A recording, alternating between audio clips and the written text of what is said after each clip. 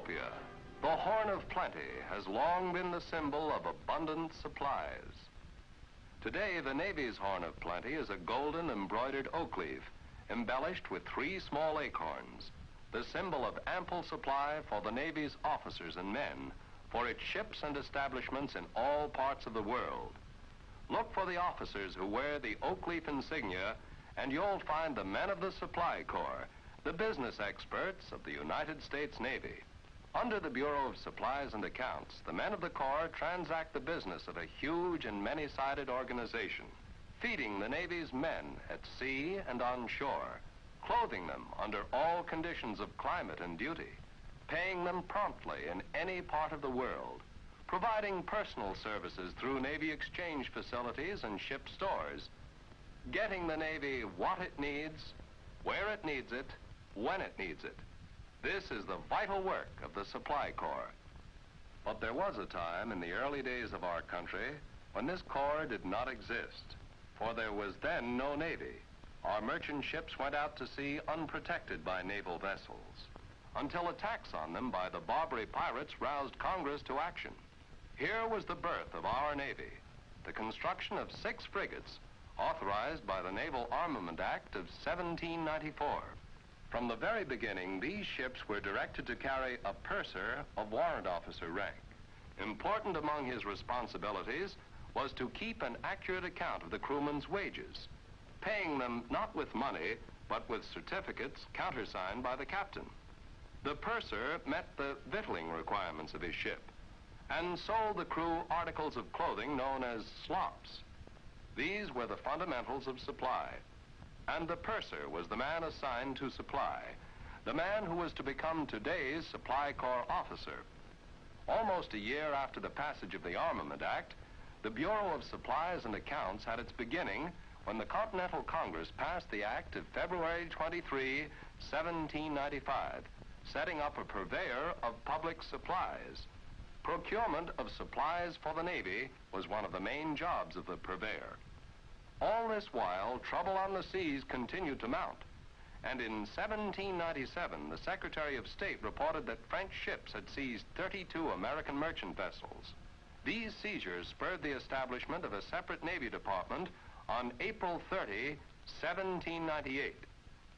That same year, the position of accountant was set up under the Secretary of the Navy to account for all money advanced and for stores issued and distributed.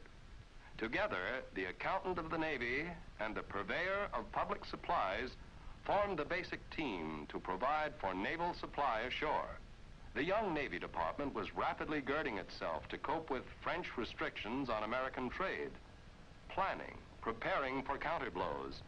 The military needs of the day were for vessels and more vessels, and appropriations rose steadily to finance the program.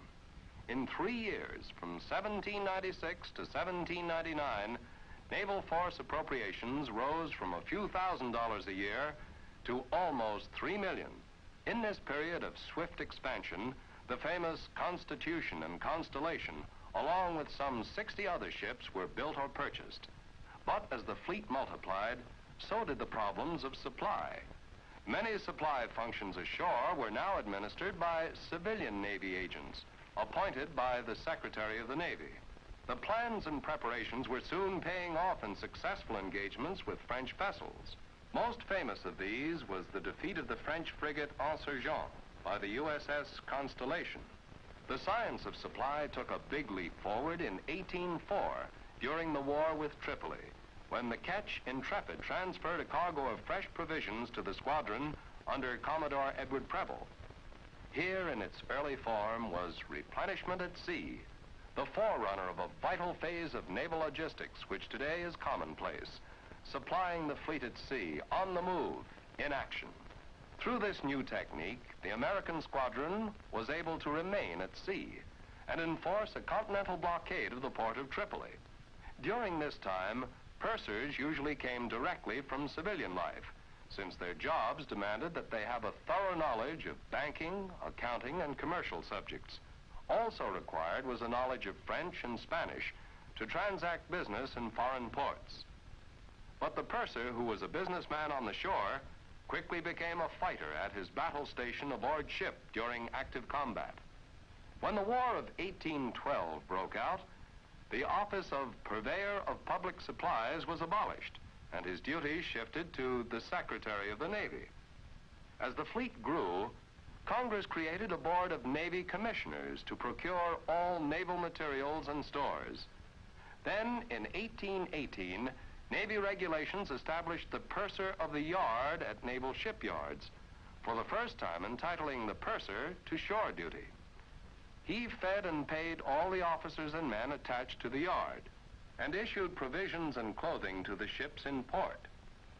Under the same regulations, the civilian Navy agent's job was broadened to include the sale of surplus and useless stores.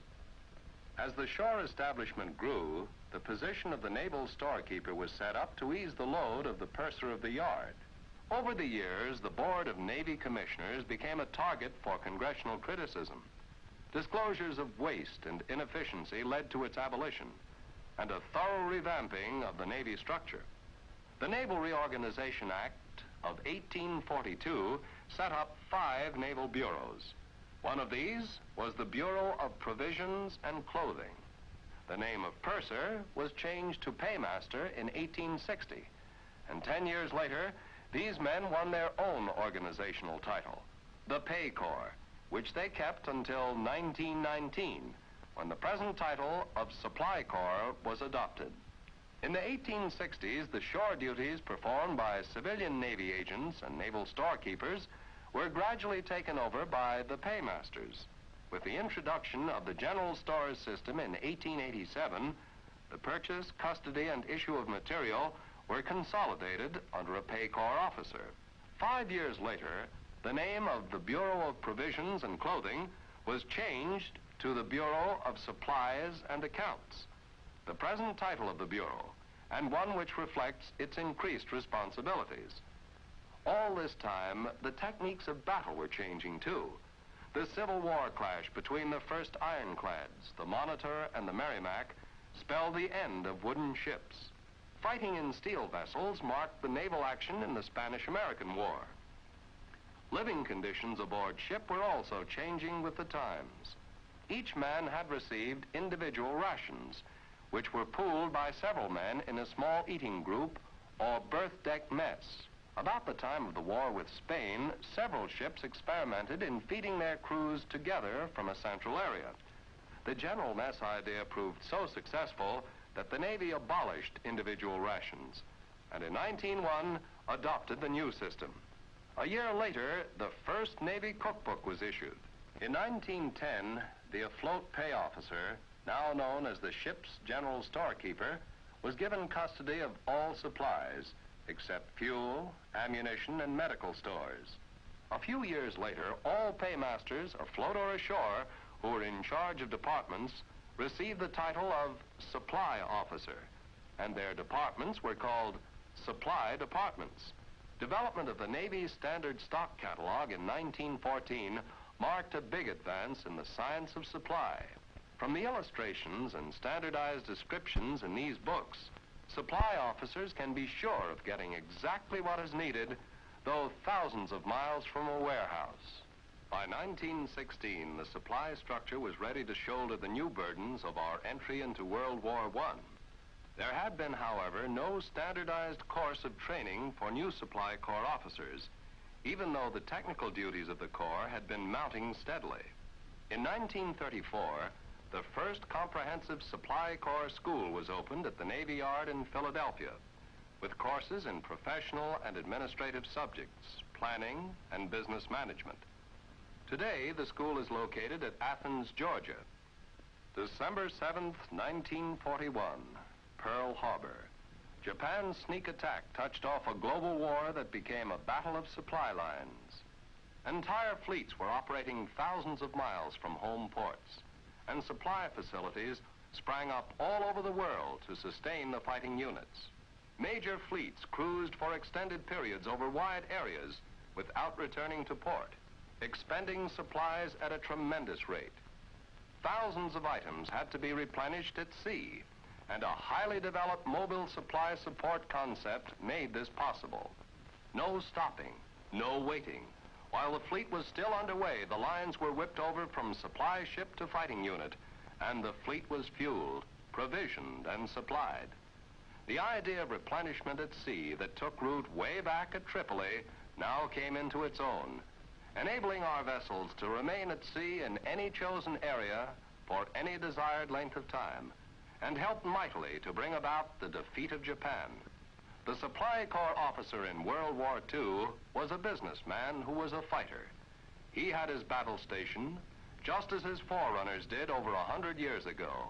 And like his mates in action throughout American naval history, the men of the Corps in World War II won many decorations for heroism in combat. The war stimulated the Supply Corps to re-examine its methods and improve its services. For personnel, a new pay system, utilizing individual pay records, went into effect in 1944. This statement of the Navy man's account is always kept up to date and permits prompt payment anywhere in the world. In the field of material, the Navy squarely faced the facts of a technological age. From 200,000 items, the system had expanded in a few years to over a million items. Only the methods of large-scale business management would now serve. Centralized control, standardized procedures, modern business methods. These are the keystones of the integrated Navy supply system approved in 1947. The system divides material into 13 categories, such as electronics, ship's parts, provisions, and aviation, and assigns each to a separate control office or supply-demand control point.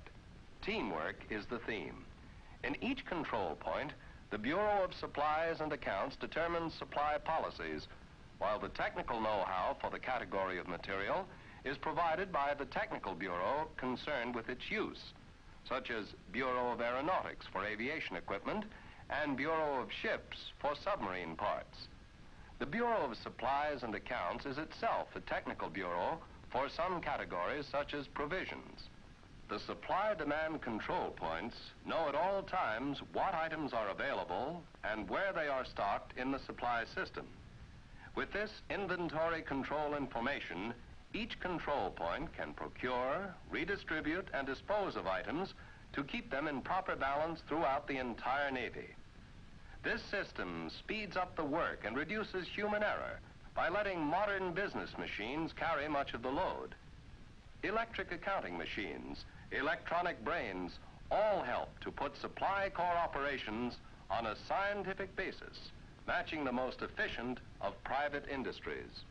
This is a flexible system, one that responds to any military demand. It has proved itself in Korea and other areas. Living, working, fighting. Wherever the Navy must go, its every demand is met by the Supply Corps.